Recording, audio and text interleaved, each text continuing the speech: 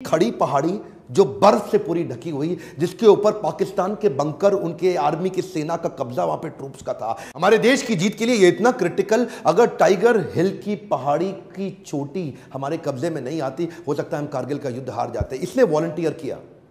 ये क्या बोला अपने लीडर्स को कि मैं चढ़ जाऊँगा इस पहाड़ी पे? उस समय लोग सोचने लगे, यार, ये लड़का अकेला सोलह हज़ार पाँच सौ फुट बर्फ़ से ढकी हुई पूरी पहाड़ी, खड़ी पहाड़ी। एक्चुअली पाकिस्तान भी प्रिपेयर नहीं था। दूसरी तरफ़, जो प्लेन से यानी कि प्लेन से जब ऊपर आते हैं तो वहाँ पे स्ट्रैटेजिक लोकेशन का एडवांटेज था ना पाकिस्तान की सेना के पास। कोई नीचे से सामने आएगा तो ऐसे उड़ा देंगे उसको, लेकिन वो सोचे नहीं कि पीछे खड़ी पहाड़ी से भी कोई आ सकता है, और वहीं इसने वॉलंटियर किया, अपने साथ कुछ लोगों को लिया। दूसरी तरफ़ से सुबह चार बजे कंफ्यूज करने के लिए फायरिंग हुई तो सेना का वहाँ ध्यान गया, लेकिन पाकिस्तान की सेना बड़ी स्मार्ट थी। उन्होंने कहा, पीछे भी जाकर के देखो कि कवर करने के लिए कोई पीछे तैयारी तो नहीं है, और इसका साठ फुट बचा था योगेंद्र सिंह यादव का, कि ऊपर से पाकिस्तान की सेना को पता लगा तो उन्होंने इनके ऊपर गन फायर करनी शुरू कर दी। और एरियल गन फायर से तीन गोलियाँ लाके इसके कंधे के पास लगी। ये रुका नहीं।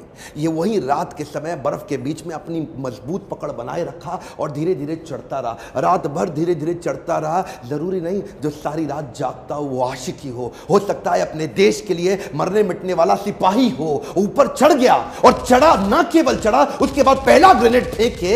इसने दुश्मनी बंकर को उखाड़ दिया। दूसरे ग्रेनेड से दूसरे बंकर को उखाड़ा। इतने में पीछे से सेना की हमारी दूसरी टुकड़ी आ गई इसको सपोर्ट करने के लिए। दूसरे राउंड में लड़ाई चालू हुई। सोलह गोलियाँ लग गई इसको। और सोलह गोलियाँ लगने के बाद पूरा शरीर छल्ली छल्ली और ये वहाँ पे क्या बोला? कहता है, दुश्मन को मारने से पहले अगर मुझको मौत आ गई तो पहले मौत को मौत के घाट उतार दूँगा। असली सिपाही देखिए वो नहीं होता है, जो इसलिए लड़ता है कि सामने वाले से उसको नफरत है। वो इसलिए लड़ता है कि पीछे वाले से उसको प्यार है। परमवीर चक्र से सम्मानित योगेंद्र सिंह यादव के ऊपर ऋतिक रोशन ने एक मूवी बनाई थी अमिताभ बच्चन के साथ, लक्ष्य। और वो लक्ष्य मूवी में ऋतिक रोशन ने उन्हीं का रोल तो निभाया था। दूसरी कहानी मैं बताना चाहता हूँ इयान कार्डोजो के विषय में। इकहत्तर में जब पाकिस्तान के खिलाफ जंग छिड़ी थी, उस समय ये गोरखा रेजिमेंट में मेजर हुआ करते थे।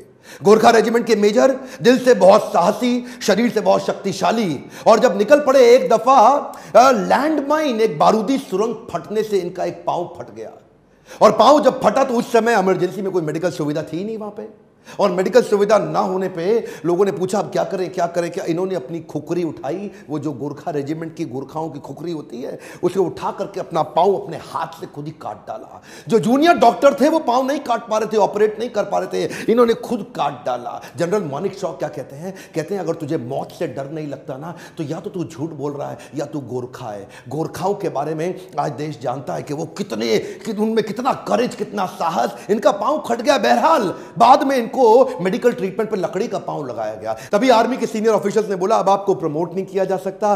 क्योंकि अब आप विकलांग हो चुके हैं अब आप डिसेबल्ड हैं अब आपका एक पाव नहीं है। लेकिन इयान कार्डोजो कहाँ रुकने वाले थे? वो किसकी सुनने वाले थे? आ, लकड़ी का पाँव लेकर के अपनी फिटनेस को बिल्ड करने में लग गए और बोले कि जिसके पाँव है ना दोनों उसके साथ मेरी रेस लगवा दो मैं उसको हरा दूँगा। और वही हुआ। वो लकड़ी का एक पाँव लेकर के इतना तेज भागते कि जो बिल्कुल मेडिकली फिट है उसको भी पछाड़ देते।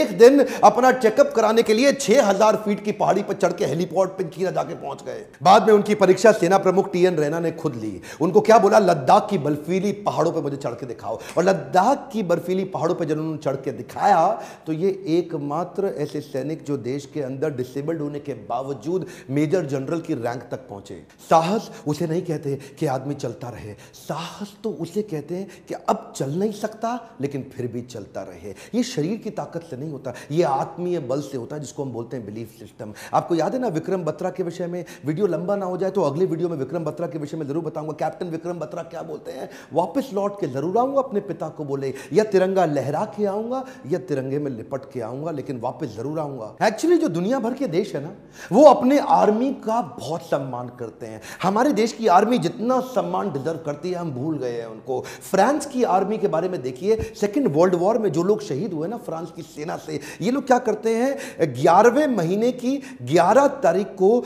सुबह ग्यारह बज के ग्यारह मिनट पे ये लोग क्या करते हैं? खड़े हो जाते हैं मौन में उन सबको याद करने के लिए जो शहीद हो गए। यानी कि पूरा देश उस शहीदी दिवस को बड़े दिल से मनाता है। कोरिया में जाइए ना, नॉर्थ कोरिया में। नॉर्थ कोरिया का जो तानाशाह है, उसने पैंसठ लाख लोगों को आर्मी की ट्रेनिंग दी अपने देश में। दस लाख लोग एक्टिव हैं आर्मी में, लेकिन पचपन लाख लोग रिज़र्व, अपना काम धंधा कर रहे हैं, लेकिन आर्मी के लिए रिज़र्व है। जिस दिन ज़रूरत पड़े, आ जाए। इसे कहते हैं आर्मी की रिस्पेक्ट। आप अमेरिका में जाइए, अमेरिका में अडॉप्ट ग्रेव का सिस्टम उन्होंने चालू किया है कि जो भी जितने भी लोगों को जो शहीद है ना, अमेरिकन सोल्जर्स उनकी ग्रेव को अडॉप्ट करने का सिस्टम बनाया कि एक आदमी एक ग्रेव को अडॉप्ट करेगा ताकि जीवन भर उसका सम्मान किया जा सके रिस्पेक्ट किया जा सके। हमारे देश में क्या हो रहा है? हमारे देश के जो राजनेता है ना पॉलिटिकल पार्टी पॉलिटिकल लीडर उनके स्मारक तो बनाए जा रहे हैं बड़े बड़े वीआईपी मिलिट्री लीडर के स्मारक को कोई पूछता नहीं और बनता भी है तो किसी गाँव के अंदर ऐसे कोने में कहीं बनता है जहाँ पे जाके पशु पक्षी वहाँ पे मलमूत्र त्यागते कोई इस पर ध्यान नहीं देता। मैं ये पूछना चाहता हूँ,